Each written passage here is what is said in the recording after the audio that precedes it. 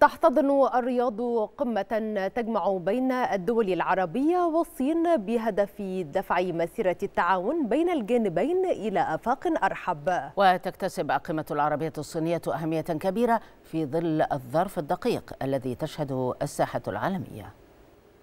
أهمية كبرى تحملها زيارة الرئيس الصيني شي جين بينغ للمملكة العربية السعودية والتي وصفتها بكين بأنها أكبر وأهم نشاط دبلوماسي بين الصين والعالم العربي منذ تأسيس جمهورية الصين الشعبية وأنه سيصبح حدثا تاريخيا في تاريخ تطور العلاقات بين الصين والدول العربية. وبخلاف عقد قمة سعودية صينية وقمة الرياض الخليجية الصينية للتعاون والتنمية وقمة الرياض العربية الصينية للتعاون والتنمية إلا أن الزيارة الخاصة بالرئيس الصيني تدشن لمرحلة جديدة من العلاقات بعد إطلاق المرحلة الأولى مع إنشاء منتدى التعاون الصيني العربي في عام 2004 وإعلان مبادرة الحزام والطريق في عام 2013 حيث ترسم تلك القمم خارطة طريق قادمة للتعاون في مجالات سياسية واقتصادية وتقنية وعلمية. ويتصدر جدول أعمال القمم الثلاث الاهتمام بتحقيق مبدأ الاعتماد على الذات والكفاية الذاتية.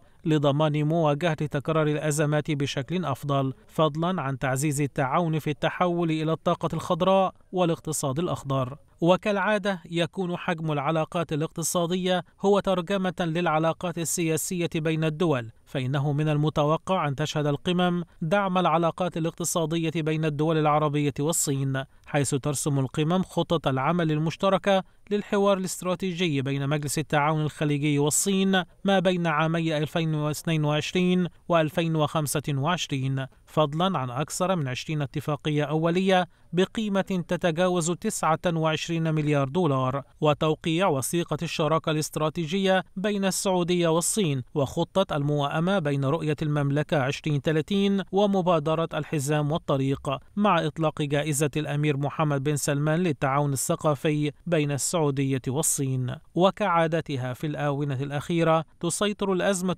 الأوكرانية على معظم الاجتماعات والمحافل الدولية تسعى القمة العربية الصينية إلى إطلاق موقف موحد من الأزمة في أوكرانيا يهدف في المقام الأول إلى دعم التسوية السلمية.